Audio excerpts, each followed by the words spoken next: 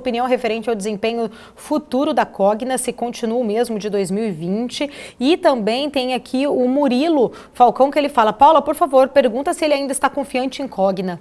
Qual que então a sua opinião sobre Cogna, Breda? Olha, Cogna, eu vou tomar cuidado para não, não, é, não dar informação a mais, né? É, a gente tá, tem participação no Conselho Fiscal da Cogna, então isso é uma informação pública. As, a posição que a gente tem na Cogna, né, se a pessoa for checar ali na CVM, olhar, na, né, a, abrir ali a carteira, vai ver que continua muito importante. Então, o que, que isso quer dizer? Né? Dedução lógica disso é que a gente acha que tudo segue conforme a gente imaginava. Então, é, a gente entrou na companhia né, imaginando um futuro é, e que não é segredo, é muito parecido com o que a própria companhia fala, né? Transformação digital, migração para o uhum. ensino online, né? diminuição da participação do ensino superior presencial, crescendo sistemas de ensino.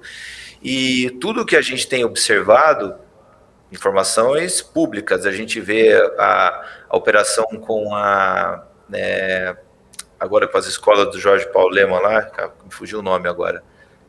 Depois você me lembra aí. É, vendendo escolas e comprando sistemas de ensino, tudo isso está reforçando a estratégia que eles mesmos desenharam já faz um tempo. Então, na nossa opinião, o jogo segue. A nossa visão de investimento ali é pensando em 5, 6 anos. Pelo menos. E de onde vem os 5, 6 anos? Só para as pessoas entenderem.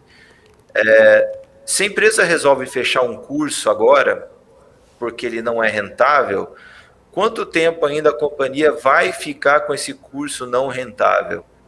Vai ficar ainda uns 4, 5 anos. Você para de fazer vestibular para esse curso, mas você vai dar continuidade com os alunos que estão naquele curso.